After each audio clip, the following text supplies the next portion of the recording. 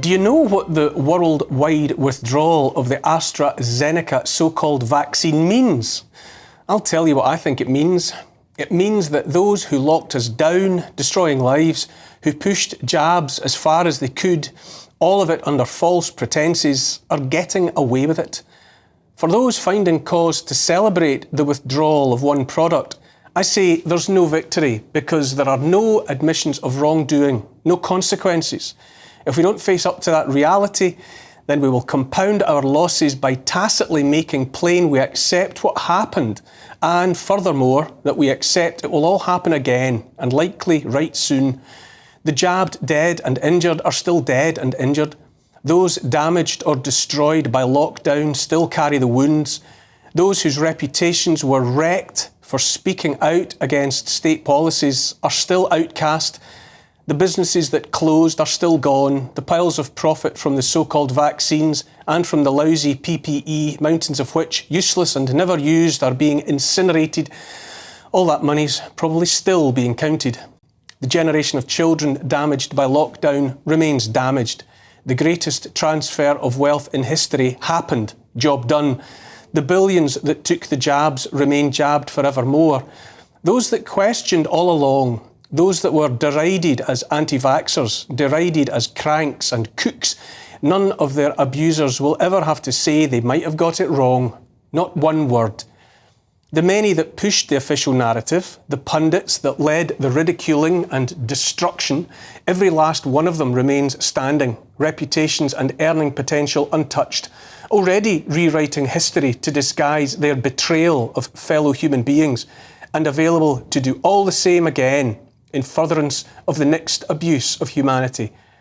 For those that publicly challenged the narrative or said no to authority or just asked questions, for all of that, the only victory is knowing we did right, and doing the right thing must be its own reward because the louder and most unavoidable truth of all is that no good deed goes unpunished. Those who questioned, those who said no, even now are still being punished because the reality is that while the guilty forgive each other for all they did wrong, those same guilty will never, ever forgive us for daring to question.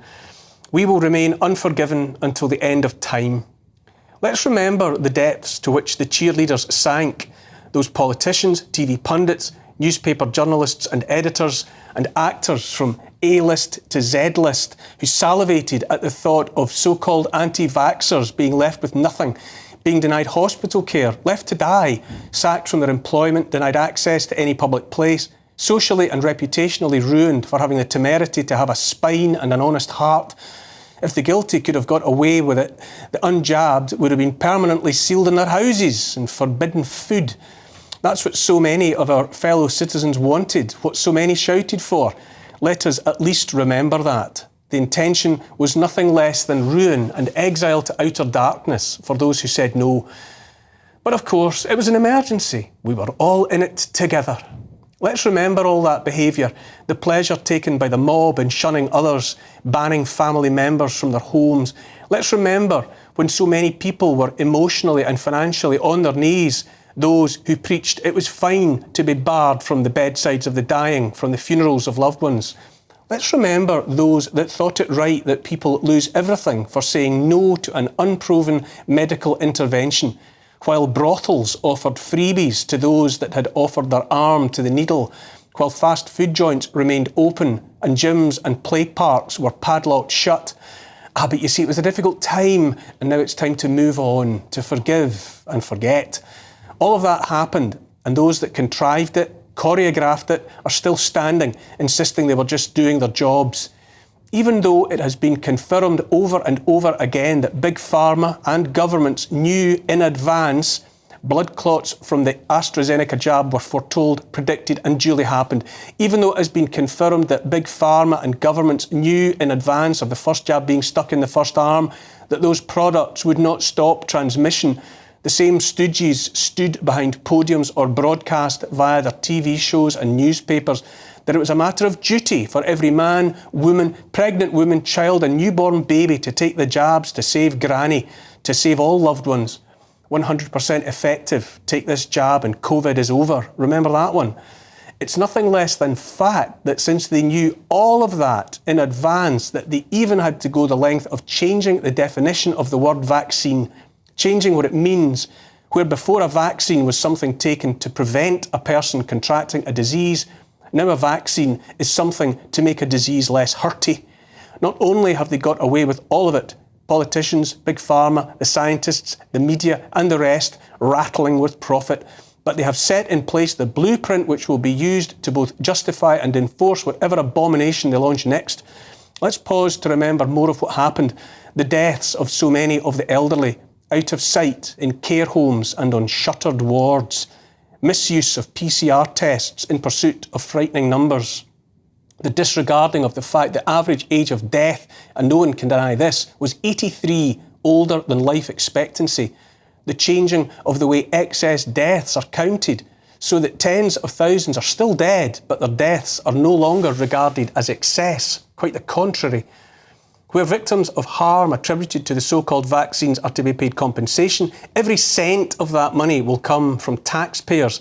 The companies, remember, were granted indemnity long ago, which means the government said that whatever happened, death included, those companies would be held accountable and culpable for precisely nothing. And while we're at it, let's remember furlough, how most people received free money to finance their staying at home, while the self employed received zilch. Many of those self employed lost everything. But if they are still with us, having found other ways to make a living, they are required to share the burden of repaying the furlough they were denied but that was enjoyed by others at their expense. I say again, there's no victory here, nothing whatever to celebrate. The guilty prospered and walked away scot free while the innocent suffered and continued to suffer, and that's about as much as can honestly be said. It had to happen this way the dictatorial rollout of the plan, followed by its ending precisely on their terms and only when it suited them utterly without consequences for any of them. Because happening this way, rubbing our noses in the fact it all happened and that there will be no consequences for them, manoeuvres or perhaps torments is closer to the mark, the affected populations into silently and humiliatingly consenting to the certainty that when it happens again, we won't be able to pretend we haven't seen it all before and yet demanded no accounting for harms done. If we accept now this rewriting of history, this drip, drip, drip of truth, this absolving of the guilt of so many who caused or celebrated so much harm, then we will have learned nothing. I'm not talking here about the next so called pandemic, or not just about pandemics. I'm talking about a blueprint that will be followed for the peddling of whatever crisis they dream up next. The existential threats remain, bigger than ever, we're still looking down the barrel of digital IDs, of central bank digital currencies, of 15 minute ghettos, of the end of meat on our plates, the end of private ownership of cars, and God knows what else, the end of freedom of speech, in fact, the end of freedom full stop. Ask yourself why governments across the West, around the world, are in overdrive in their efforts to seize control of the internet, to make it a crime to challenge authority, a crime to think, far less to speak freely. Another part of the blueprint is making it illegal to disagree with whatever the powerful say is so. We're still in the shadow of Chinese style social credit systems, except a version offering more complete control to our captors than anything even the Chinese Communist Party has yet pulled off. Governments hollowed out and powerless, made meaningless, nation state governments enthralled to the one and only one world government. Those puppets did as they were told and so used the COVID debacle, the so called scamdemic, to lay the foundations of the digital gulag archipelago that is the real objective.